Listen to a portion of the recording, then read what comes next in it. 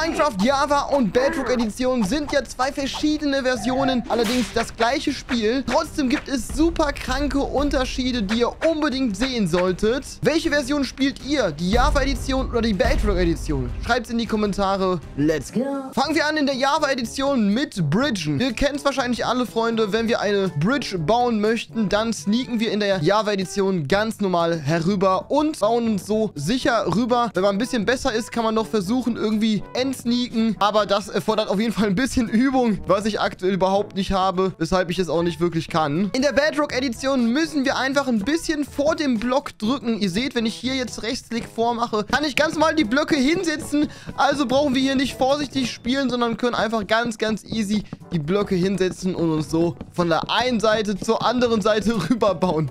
Sogar blind kann ich das machen. Obwohl, nee, blind nicht, aber es geht auf jeden Fall. Wenn wir in der Java-Edition Blöcke abbauen, müssen wir diese immer einzeln abbauen. Also wir müssen Linksklick die ganze Zeit einzeln machen auf alle möglichen Blöcke. Wenn ich jetzt zum Beispiel Linksklick gedrückt halte, funktioniert das auch, allerdings sehr langsam. In der Bedrock-Edition können wir einfach Linksklick auf die Blöcke machen, wie auch in der Java-Edition. Wir können allerdings auch gedrückt halten und können so viel, viel schneller abbauen, als beispielsweise in der Java-Edition. Ihr seht, bam! Alter, wie schnell kann ich mich hier zum Beispiel runterbauen mit dieser Technik? Das ist der reinste Wahnsinn. Wir sind jetzt einfach irgendwo in der Mine gelandet und hier ist einfach mal ein Schild, da steht drauf, schaffen wir 10 Likes. Leute, lasst unbedingt nochmal einen fetten Like da, lasst auch ein Abo dafür mehr. Das unterstützt mich wirklich. Also gönnt auf jeden Fall mal den Like auf Ehre.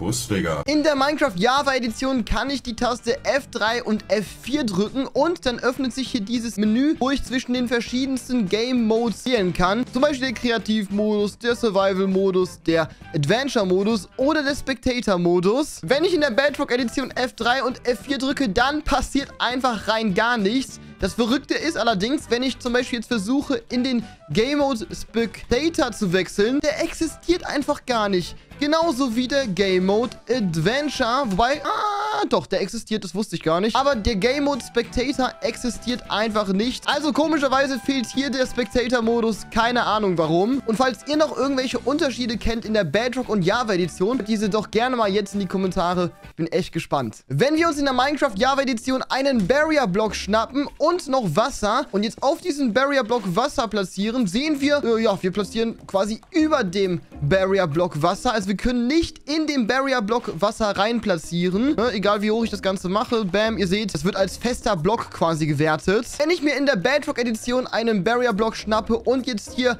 drauf Wasser platziere, seht ihr, ich kann gar nicht auf diese Barrier Wasser platzieren, sondern es wird automatisch in die Barrier rein Wasser platziert.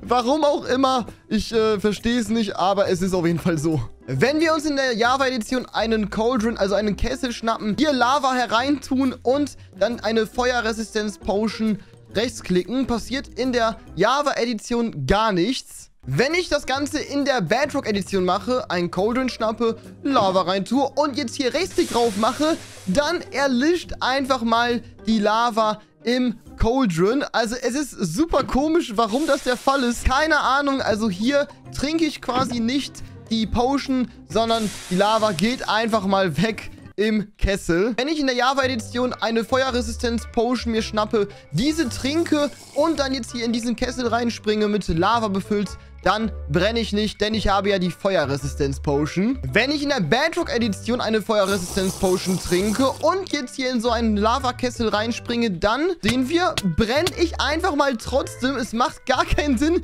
Ich habe ja hier diesen Feuerresistenz-Effekt. Aber sobald ich rausgehe, komme ich keinen Schaden mehr. Nur wenn ich wirklich im Cauldron drin bin, bekomme ich Schaden. Warum auch immer, keine Ahnung. Wenn ich in der Java-Edition Items, zum Beispiel Emeralds, auf ein Boot werfe, seht ihr, die ganzen Items landen landen hier auf diesem Boot. Das gleiche gilt natürlich auch für andere Sachen, zum Beispiel irgendwelche Blöcke, die landen auch auf dem Boot. Wenn wir uns in der Minecraft Bedrock Edition ein Boot schnappen, jetzt hier einfach mal Items drauf werfen, dann seht ihr, die fallen einfach mal durch das Boot durch. Also hier sieht man es nochmal ein bisschen besser. Wir sehen, man kann die Items einfach nicht auf das Boot draufschmeißen. Das gilt allerdings auch für andere Sachen, zum Beispiel Blöcke. Die fallen alle einfach mal durch das Boot. Ja, verstehe ich nicht, aber es ist so. Wenn wir in der Java-Edition ein Endportal erstellen, das kann man ja ganz normal hier mit diesen wunderschönen Augenzuen mit diesen wunderschönen Augen tun. Und wir sehen, bam, das Portal hat sich erstellt. Wenn wir jetzt allerdings diese Endportalrahmen abbauen, dann bleibt das Portal ganz normal noch hier vorhanden. Also wir könnten theoretisch immer noch ins End gehen, indem wir hier reinspringen. Wenn wir das gleiche jetzt in der Minecraft Bedrock Edition machen und ein Endportal erstellen, dieses mit Augen befüllen und jetzt einfach mal hier diese Endportalrahmen weghauen, sehen wir, das Endportal an sich verschwindet einfach mal. Ich verstehe es einfach nicht. Also wirklich, wo ist da die Logik, Leute? Erklärt mir mal, warum gibt es so viele Unterschiede zwischen der Java und Bedrock Edition? Ich bin echt sprachlos. Wenn wir uns in der Java Edition ein Bett schnappen und die Zeit auf Nacht einstellen, einen Villager in das Bett reinlocken, jetzt einen Amboss auf ihn werfen, sehen wir, der Villager wird automatisch aus dem Bett herausgeschmissen und äh, er geht wieder rein, lol. Also er wird immer wieder rausgeschmissen. Machen wir das gleiche jetzt einfach mal in der Bedrock-Edition und wir sehen, der Villager sollte jetzt auch jeden Moment schlafen gehen. Und wenn ich jetzt einen Amboss auf ihn draufschmeiße, dann geht er auch raus. Lol. Okay, Moment mal ganz kurz. Das war jetzt eigentlich nicht geplant. Ich meine nämlich, wenn ich den Amboss, glaube ich, nicht zu weit fallen lasse, dass er nicht rausgeht.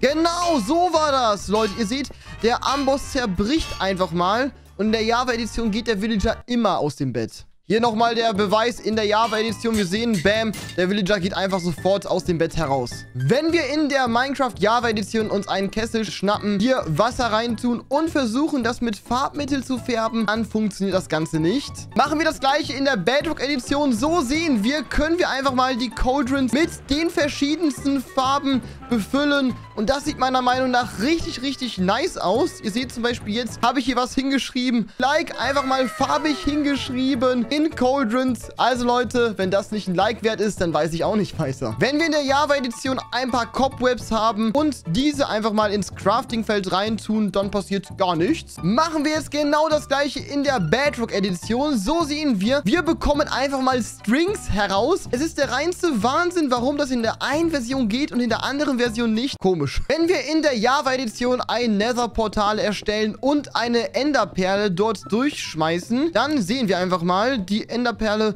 wird ganz normal geworfen. Also da passiert eigentlich, ja, gar nichts. Wenn wir das gleiche in der Bedrock-Edition machen, so sehen wir, die Enderperle verschwindet einfach mal. Wir sehen, die ist einfach weg. Warum auch immer, keine Ahnung. Aber auch komischerweise nur, wenn man wirklich nah am Nether-Portal steht. Also, wenn ich mich ein bisschen entferne und die jetzt so werfe, dann werde ich, glaube ich, immer noch... Nee, doch nicht? Hä? Lol? Okay. Keine Ahnung. Auf jeden Fall, ihr seht, es macht keinen Sinn. Wenn wir in der Java-Edition versuchen, Eis mit einem Feuerzeug anzuzünden, dann funktioniert das ohne Probleme. Und wir sehen, dieses Eis taut einfach mal auf. Machen wir das gleiche in der Bedrock-Edition. So sehen wir, ich kann Eis einfach nicht anzünden mit dem Feuerzeug. Und selbst wenn ich hier das drumherum alles anzünde, seht ihr, dieses Eis taut einfach mal nicht auf. Also, was ist denn das für ein verrückter Unterschied? Okay, doch, jetzt nach einer Zeit. Aber wir haben gesehen, in der Minecraft Java-Edition war es auf jeden Fall deutlich schneller. Wenn wir in der Java-Edition einen Schneeball nehmen, diesen durch Lava werfen, wird er zwar angezündet, also ihr seht es, bam, der brennt zwar dieser Schneeball, allerdings hat der einfach mal keinen Effekt auf zum Beispiel Mobs, wir sehen, ich kann dieses Schweinchen einfach mal abwerfen mit ein paar Schneebällen. Aber es passiert nichts. Er, äh, es brennt nicht an. Auch andere Tiere nicht. Zum Beispiel diese Kuh. Machen wir jetzt das gleiche in der Bedrock-Edition. So sehen wir. Ich kann auch hier einen Schneeball durchwerfen durch Lava und er fängt einfach mal an zu brennen. Aber im Gegensatz zur Java-Edition fangen die Tiere auch einfach mal an zu brennen. Und das ist natürlich super, super krass. Warum das nur in einer Version möglich ist, ich habe ehrlich gesagt keine Ahnung. Aber ich würde mir sowas zum Beispiel auch in der Java-Edition wünschen. Wenn wir versuchen, eine Kiste in eine Schalker-Box rein zu glitschen, mithilfe von einem Pisten, also in der Java-Edition, dann seht ihr, das funktioniert einfach mal nicht, denn der Pisten reagiert nicht und ja, Machen wir das gleiche in der Minecraft Bedrock Edition. So bemerken wir, dass wir einfach mal eine Kiste in eine Schalker Box reinpushen können. Und bam, wir sehen, das ist der Beweis. Die Kiste ist einfach mal in der Schalker Box gefangen. Das sieht ein bisschen merkwürdig aus, muss ich sagen. Ich kann aber auf die Kiste nicht zugreifen. Ah, doch, es geht. Hä? Okay, ich habe das vorhin mal probiert, da ging es nicht. Komisch. Wenn ich in der Minecraft Java Edition Wände platziere und versuche Knöpfe darauf zu platzieren, dann funktioniert das Ganze nicht. Wenn ich Knöpfe versuche zu platzieren in verschiedensten Positionen, dann funktioniert das in der Java Edition. Also ihr seht, das ist eher so horizontal, das hier ist eher so vertikal und je nachdem, wie ich mich mit meinem Skin positioniere, kann ich die halt, ja, anbringen, die Knöpfe. Wenn wir das jetzt in der Minecraft Bedrock Edition machen, werdet ihr sehen, wir können einfach Knöpfe hier drauf platzieren, ohne Probleme. Sieht auch super cool aus, wenn man sich zum Beispiel jetzt hier Steinknöpfe schnappt und die einfach mal hier oben drauf platziert. Also richtig, richtig nice. Aber was in dieser Edition nicht funktioniert, ist, die Steinknöpfe oder generell Knöpfe auf dem Boden anders zu positionieren. Wir sehen, die werden immer nach oben hin positioniert, die Knöpfe. Egal, wie ich sie platziere, egal, wie ich mich selbst positioniere. Ja, außer ich platziere sie halt so an einem Block dran. Dann sind sie anders. Aber, ja, super komisch. Wenn ich in der Java-Edition versuche, eine Schalker-Box hier zu färben, dann funktioniert das nicht. Egal, welches Farbmittel ich mir schnappe, es passiert rein gar nichts. In der Bedrock-Edition kann ich Schalker-Boxen tatsächlich einfach mal färben in den verschiedensten Farben und es sieht einfach mal super, super cool aus. Ich verstehe halt echt nicht, warum einige so coole Sachen nur in Bedrock oder nur in Java gehen. Also, keine Ahnung, es sind ja eigentlich die gleichen Spiele. Deshalb ist es umso komischer. Wenn wir uns in der Minecraft Java Edition Slabs schnappen und sie so positionieren, dass wir eigentlich nicht dran vorbeikommen. Also ihr seht, wenn wir jetzt hier laufen, wir kommen ja hier nicht durch. Wir können allerdings in der Java Edition sneaken und dann sind wir einfach mal unter der Slab. Und so kommen wir quasi dann durch diese Slabs durch. Wenn wir in der Bedrock-Edition versuchen, unter Slabs zu sneaken, dann kommen wir tatsächlich einfach mal nicht durch. Wo ich mir auch wieder so denke, hä? Der Spieler ist doch nicht einfach gewachsen. Also er ist doch genauso klein geblieben. Wo ist da die Logik? Wenn wir in der Java-Edition einen Schalter nehmen und diesen umschalten, sehen wir, hier erscheinen einfach so rote Redstone-Partikel. Und in der Bedrock-Edition sehen wir, erscheinen einfach gar keine Partikel. Egal, ob der Schalter an ist oder ob er aus ist, da passiert rein gar nichts. Wenn wir in der Minecraft Java-Edition ein Glowstone-Portal erstellen, das einfach mal so aussieht, genau, und jetzt hier Wasser reintun, dann sehen wir, haben wir einfach mal ein neues Portal erstellt. Wir können auch reingehen und wir landen dann einfach mal in einer neuen Dimension. Wir sehen, wir sind einfach mal im Himmel angekommen. Machen wir das gleiche in der Minecraft Bedrock Edition. So sehen wir, dass einfach mal gar nichts passiert, wenn wir ein Wassereimer hier reinpacken. Das mit dem Glowstone-Portal war auch in der Java-Edition nur ein Prank. Das geht leider in beiden Versionen nicht. Allerdings wäre das natürlich super cool. Und die ganzen anderen Sachen sind allerdings wirklich wahr. Lasst natürlich wie immer einen fetten Like da, lasst auch ein Abo da. Und ihr könnt jetzt gerne mal hier links meinen zweiten Kanal abchecken. Denn ich weiß, ihr alle mögt ja Minecraft-Videos und da habe ich eine Minecraft-Animation hochgeladen. Deswegen unbedingt abchecken. Jetzt kommt, draufklicken. Let's go.